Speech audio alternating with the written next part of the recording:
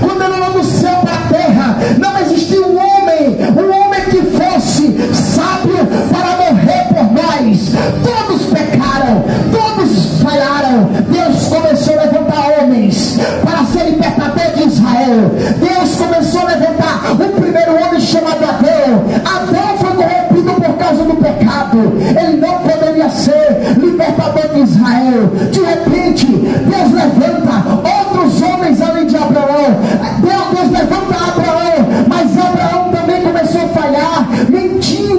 falando que sua esposa era, su, era sua irmã. Deus levantou Abraão. De repente, Deus levanta outro homem chamado Noé. Mas Noé, ele acabou se despindo e aparecendo para seus filhos e se embriagando, fazendo tudo errado. Deus viu que Noé não estava apto para cumprir o plano da salvação. Deus foi levantando os profetas, Deus levantou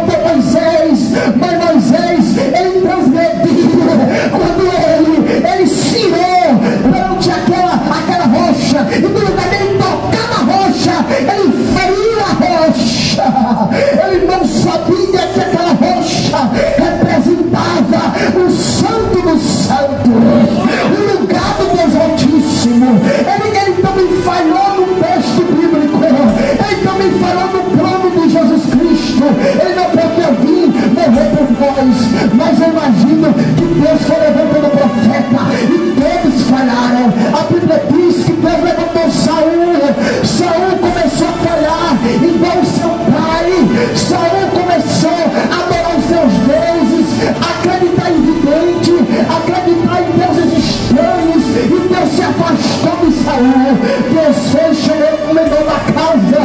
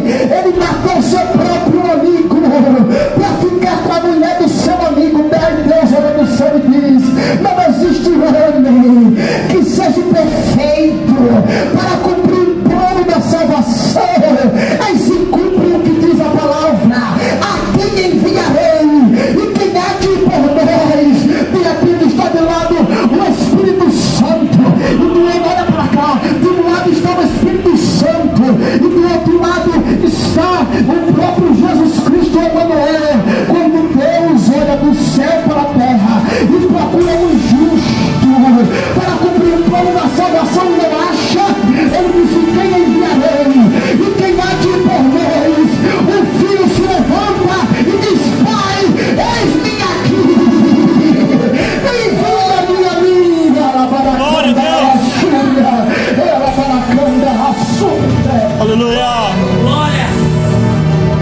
E a Bíblia diz que ele fez, ele se fez maldição por nós, ele levou sobre si todas as suas feridas, aleluias.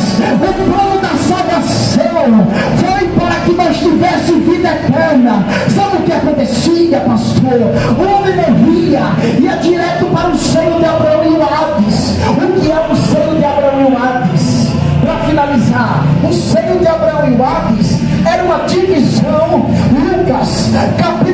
3 e o versículo 1 era uma divisão, um muro que separava os dois reinos, os dois mundos espirituais, que era chamado Seio de Abraão e o outro lado era chamado de Hades. Quem fazia paz, com?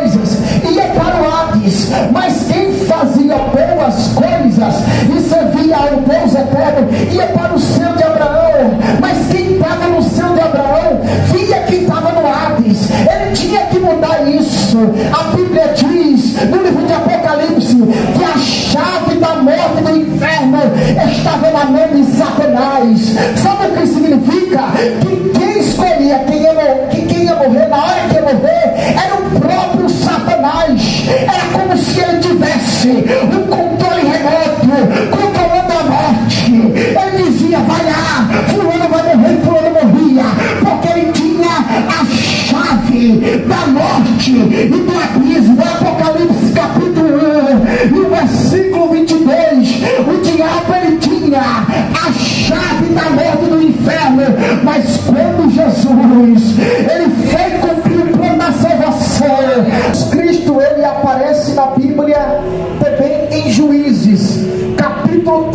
11 e o versículo 1 estava uma mulher, a Bíblia não fala o nome, mas diz esposa de Manoá.